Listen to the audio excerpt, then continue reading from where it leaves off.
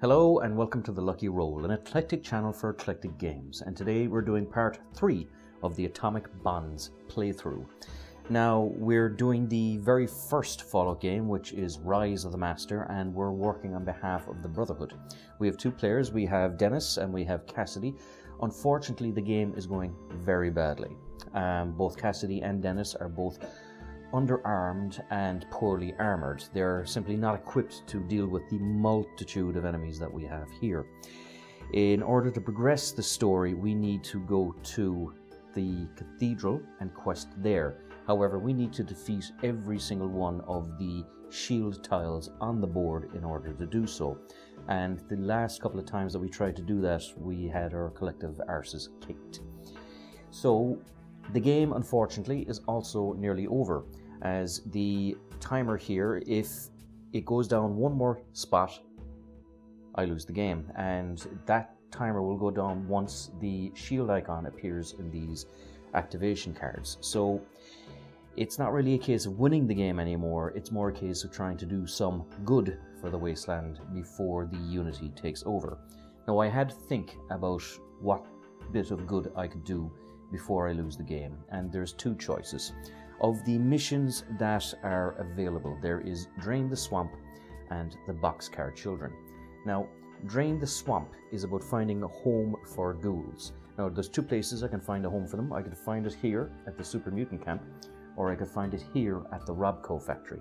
Now, the only condition is I have to make sure that there's no enemies around two spaces around the actual space itself. Now, that's not likely with the Super Mutant camp because the Unity is crawling all over the place. Here, however, at the Robco factory, if I take on this looter and kill it and get back in time to the Robco factory, I might be able to find a home for the ghouls before I lose the game. The other aspect is the boxcar children. Now, what I normally need to do is I need to donate three items. However, I have only one item that I could possibly give them from Cass, and they are here. So whilst Dennis is trying to do a bit of good for the Robco factory, Cass is going to try and get to the boxcar children so she can donate to them her sniper rifle.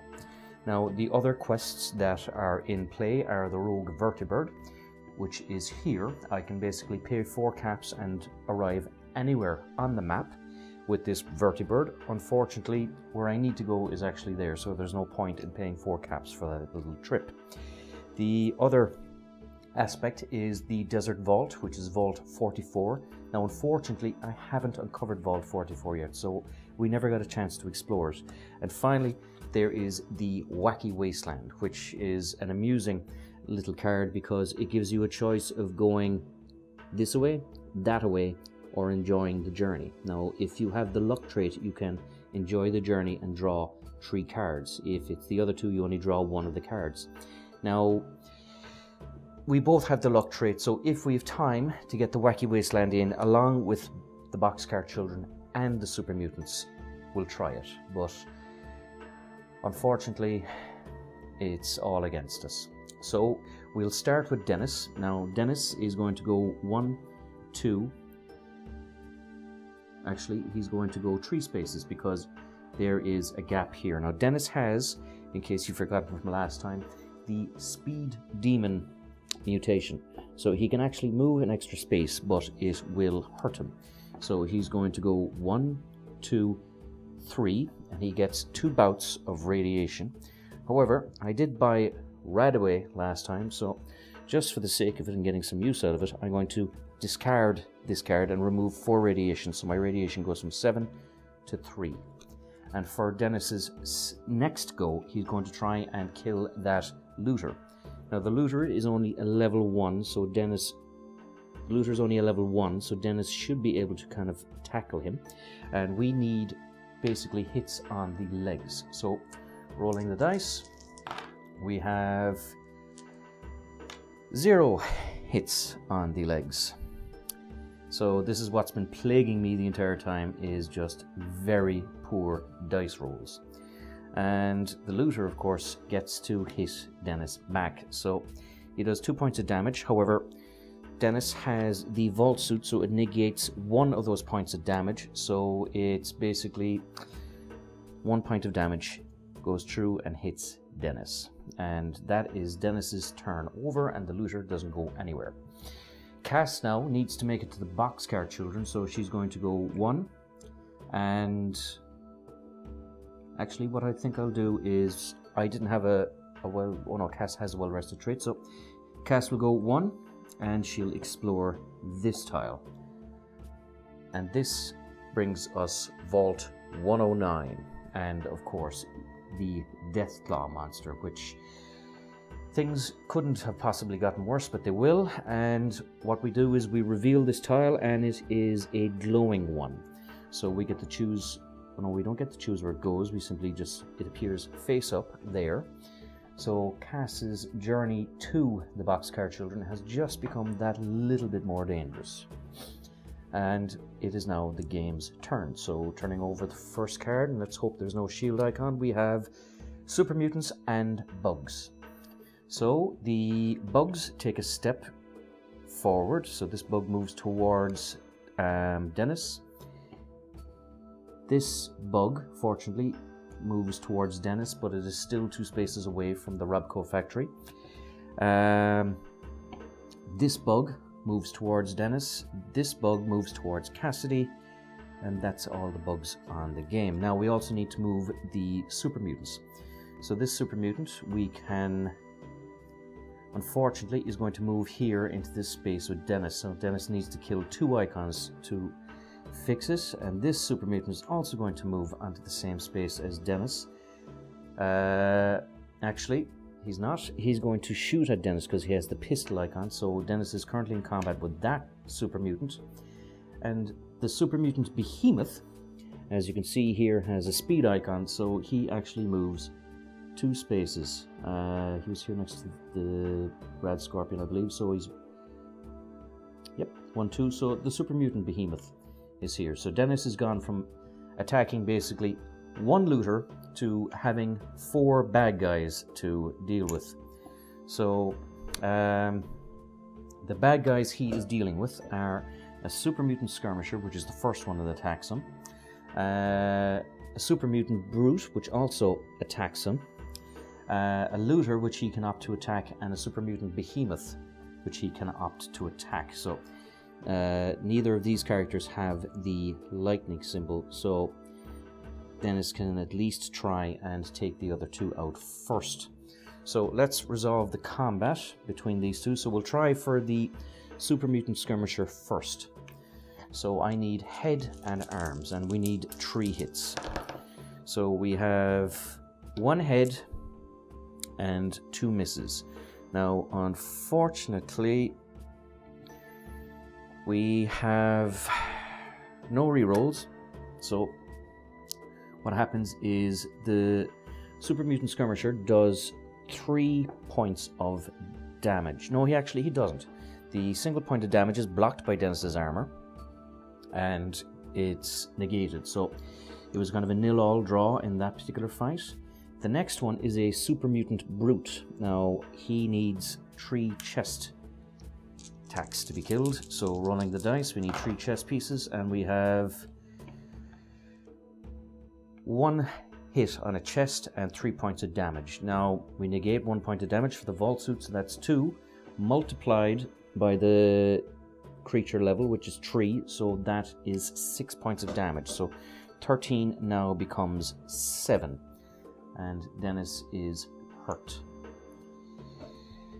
And yep, so our plan to help the super mutants has failed miserably because there's no way Dennis can kill everything that's there uh, to help them. So, what I could do on Dennis's turn is I could have abscond. Dennis could, of course, go this direction and try and lead them towards him, or he could go here to the raider camp and try the wacky wasteland quest. So I think that's what we'll do. We'll go one, two, and we'll try the wacky wasteland. So since we have the luck trait, we can decide that the whole purpose is not to go this way, not to go that way, but it's all about the journey. So we quested any wasteland, we have luck, so Dennis gets 2 XP, and we stage 101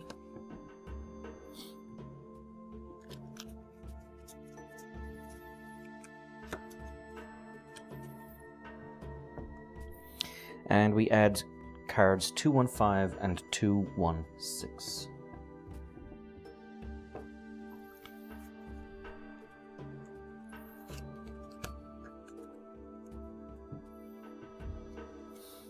Now these of course, of course are wasteland cards, so we take two cards for the players and we simply shuffle them in. So we do shuffle, shuffle, shuffle, shuffle, shuffle, and hopefully we'll encounter one of these cards before the game ends. And we'll have a look now at the card that was staged, which was card 101. And it says, I'm not saying it was aliens.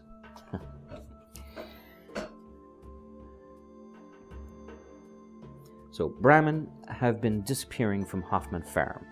Stories have circulated about strange lights in the sky on nights of the disappearances, but you know it's probably just a deathclaw or another predator, right? So we have two choices. We can defend the Brahmin pens at night, or we can activate an old radio to monitor signals at night. So we can quest at Highway 74, which is here or we can defend the Brahmin sites at night, which is here in Hoffman Farm. So that is something that Cass could actually do. She instead of going to the Boxcar Children, she could go to Highway 74 and see what's going on at night time. Um, Actually, you know what? I think we will. Cass, the Boxcar Children are kind of surrounded by bad guys anyway, and there is a Brotherhood star next to them, so maybe the Brotherhood will take pity on the poor orphans and defend them instead of us, because we obviously can't defend anything in this particular game. So Cass is going to go one, two, because that's rough terrain, we'll go around it, three, and she can't move into another one because it's rough terrain here, so her turn ends there. So that was both Cass's turn and Dennis's turn. So the next card is, please God, there is no shield, is Bug, Super Mutant, and Star. So let's have a look at what's in play. This bug moves towards Dennis. This bug moves towards Dennis. So this little radiated spot is absolutely populated, and it's called Dead End Crossing. Yes, you will certainly come to a, a dead end if you walk into that place. Uh, the blood bug takes a step here. Uh, the fire ant takes a step towards Cass. We have super mutants that activate, so the super mutant behemoth takes one, two steps and is next to Dennis. Uh, the brute takes a step here. The skirmisher takes a step here, and there is no super mutants over there. And finally, the star moves one space towards the nearest person, so that would be towards Cass. And it's sharing the space with the glowing one. So it's back to the two characters. So Dennis now is in trouble once again. He can't quest at the Raider camp because there's a big dirty super mutant behemoth breathing down on him. Um, he can't camp. He can't really do anything. So I suppose what he could do is he could move on and we'll try and explore some of these tiles. Maybe we can see if we can find Vault 44 for posterity. Or he could run around, go to the vertibird. No, we'll explore what's down here. We'll just see what else is on the map. So we'll go one and we'll explore this tile. So turning over this tile, we have the tower. So we have another settlement card, which is useful to a degree. And we have a raider icon which appears here, and the raider icon is a raider scum. So a lovely, charming little chap that goes there. So that was Dennis's turn. Cass now is going to move twice, so unfortunately it's 1-2 movement points just to get to the rough terrain here. And for her second turn, she'll move straight to Highway 74, and we'll set off the next part of this quest on our next turn. Now, unfortunately, it goes back to the board, so turning over the card, we have Raider and Deathclaw. So, the Raider Scum actually takes a pot shot at Dennis because he has the gun icon.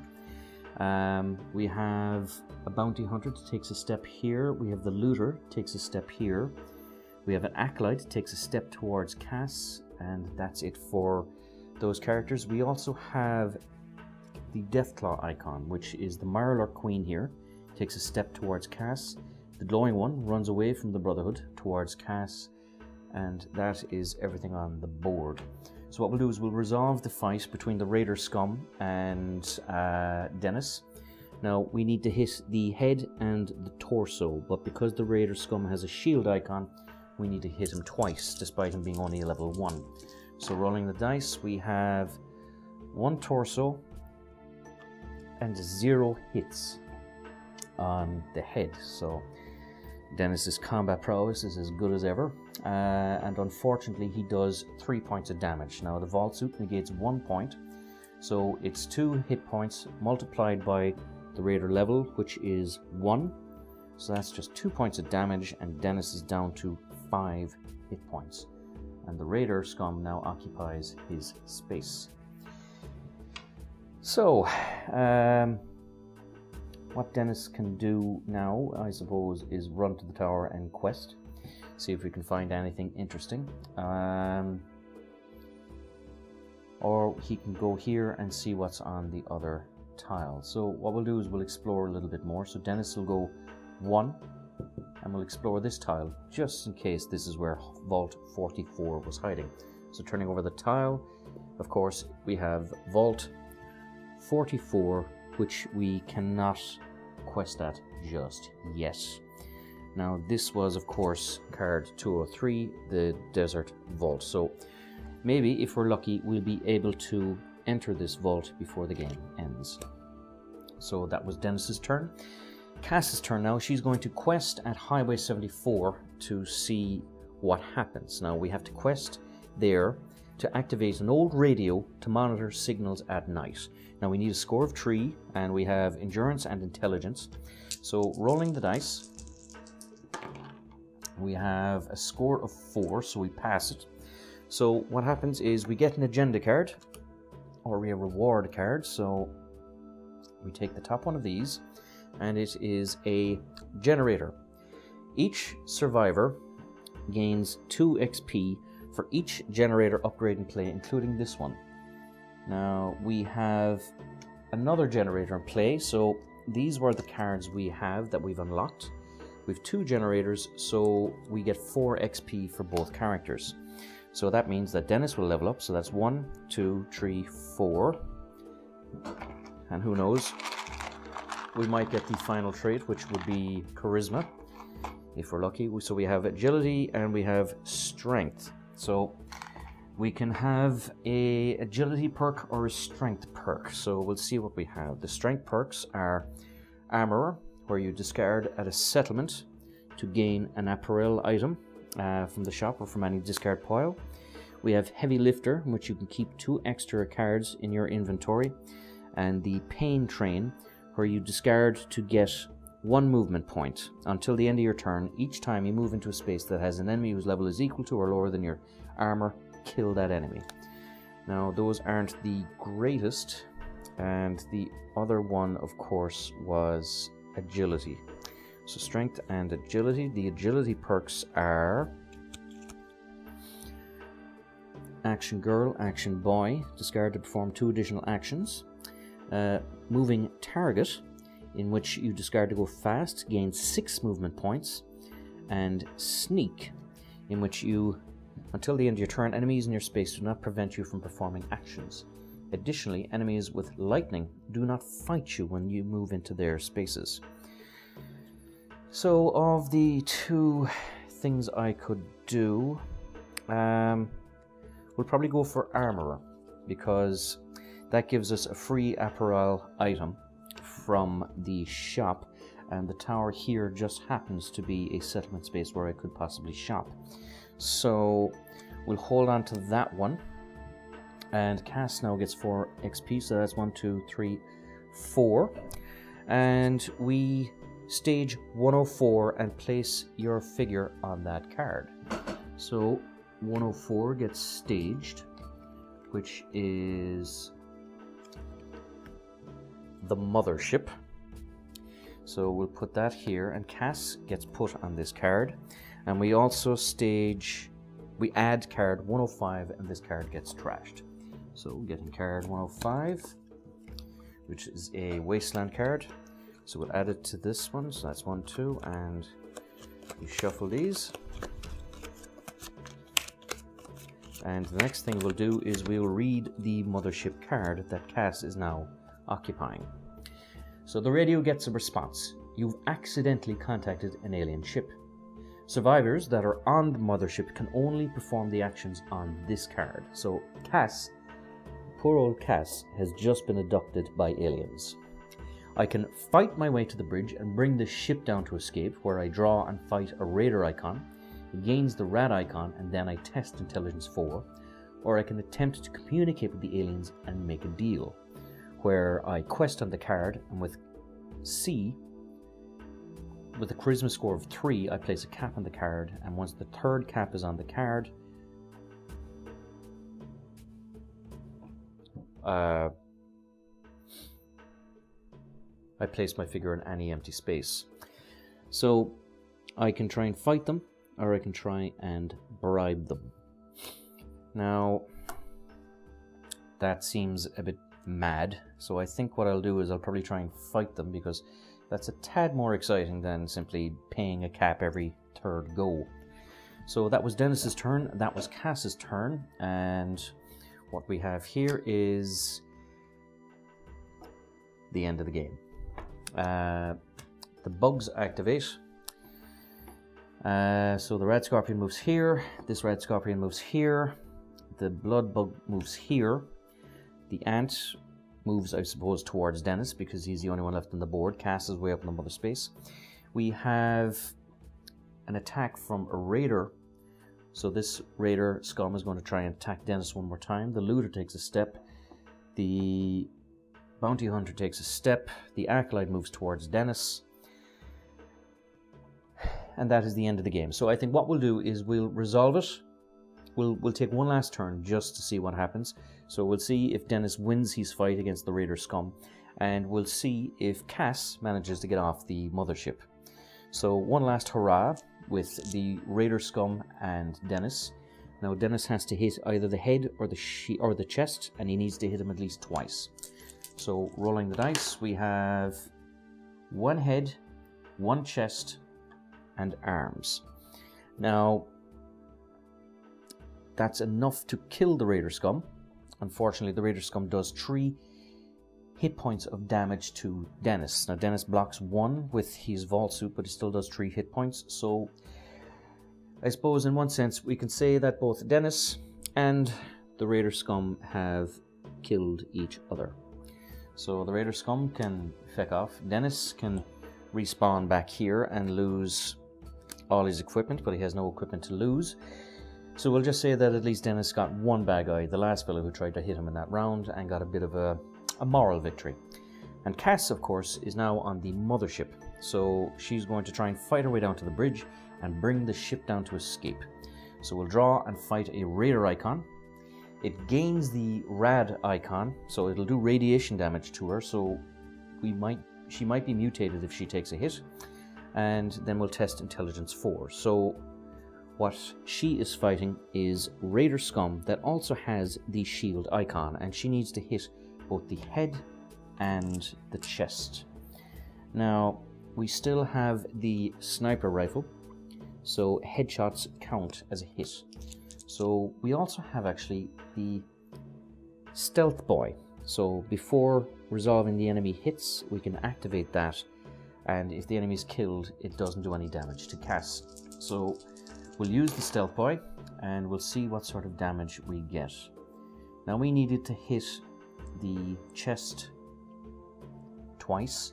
We do, and it's done no damage to Cass, so the Raider Scum dies. Cass escapes. The Stealth Boy was used, but we didn't need it, so we'll put that back here. And what happens next is we need to test Intelligence 4. So Cass needs a score of 4. Now, unfortunately, she has no intelligence, but she does have a well rested trait, so we could maybe get one reroll. So we need a score of four. So we have a score of one.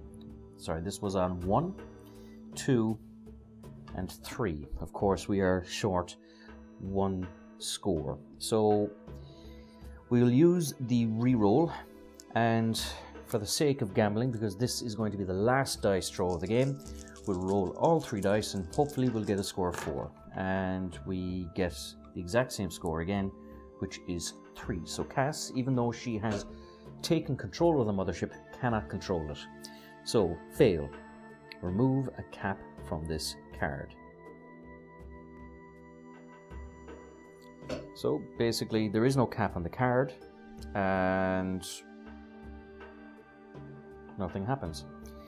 So unfortunately, that was a bit of a disappointing ending. Cass is trapped in space. Dennis uh, at least killed the last guy he was with, and the wasteland is now going to be suffering under the yoke of the Unity for Perpetuity. So thank you for watching this playthrough with me. It's been a very fun experience. It's been a great way to learn a game, especially to review it. It's been a very enjoyable experience, and I'm happy to say that my impression of Atomic Bonds so far has been very good. The addition of the gold cards makes exploration and kind of the side quests much, much more, uh, much more to the point. That you have an extra incentive and motive to do so. Uh, having the players work cooperatively would also work very well. I found that the odds were quite against me with just two players, and it was unfortunate that I had so many shield icons that forced the uh, timer down the board very quickly. However, if I were to play this game again, or this particular scenario again, I would explore more before hitting the main quests because that's what brought in the extra shield icons and at least make sure that I have proper equipment to take these things down. Um, other little aspects I found interesting are, of course, the agenda reward cards, which do give a great boost to the characters. Uh, the activation deck is a joy because it's just simple, it's straightforward. The additional die I never really got to play, but again, there was only two characters on the board. If I had a third or a fourth character, um, it would be easier to have some assists from other players. Now, I had an interesting conversation with, I believe, uh, Eric LF on the comments about balancing this a little bit more in terms of solo play. The way I was thinking around it, in terms of if you were on your own and you found it a bit too cumbersome to play four characters, is maybe if you did a homebrew rule where each character got two turns. There's other games in which the balance is addressed, at, uh, such as Star Wars Imperial Assault, for example, that if you're playing two characters against the board, the two characters get two turns each before the, the board or the uh, the the enemy player takes a turn. So it's something that could be done here to balance out the game a little bit more. Um, there's no real extra quests or things like that that's been added to the game, but the uh, the mutations are a great little idea. I mean, the fact that the speed demon came up for Dennis was an interesting development for the character because suddenly his mobility went through the roof. Obviously, he takes damage every time he does it, but it did bring in something interesting. Now, we never actually found out what Cass's um, mutation was, so having a look, we would have had herd mentality. During a test or a fight, exhaust a companion to be in the same space as another survivor to generate two rerolls. So, and the negative is you cannot generate rerolls unless you're in the same space as another survivor or have a companion. So, that's an interesting one that you can kind of generate free rerolls for yourself. So, um, yeah, a strange one, but uh, it would have been very handy if you were coming up against big monsters like, say, the Super Mutant Skirmisher or the Behemoth or even the Mirelurk Queen that would have taken four hits that you can at least try and roll all the dice to try and see if you can get that last kind of uh, attack on it. Because there's nothing more frustrating than having two of the necessary hits when you need three, and so on. Um, it has been a very interesting experience and a very fun game, and I am looking forward to trying it a little bit more. Uh, but like I said, I am going to give Fallout uh, Atomic Bonds a break for a little while. I will probably play through another couple of scenarios before I do a proper review on it because I want to play test as many of the scenarios as I can. Uh, so the next game we will probably go for will either be something like Silver Tower or perhaps Blackstone Fortress or perhaps a solo variant of Star Wars uh, Imperial Assault or This War of Mine or some other solo game that we have in the background just to make things a little interesting. So thank you very much for being on this journey with me. Uh, thank you very much for watching. Um, I hope this uh, playthrough informed your decision as to whether you want to invest in atomic bonds or Fallout or not. And until next time, good luck, God bless, and if you enjoyed this video, please hit the magic subscribe button because it does help the channel very much. So until next time, good luck, God bless, and stay safe.